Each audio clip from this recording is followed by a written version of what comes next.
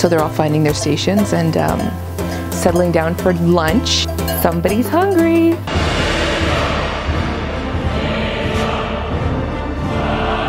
That's amazing.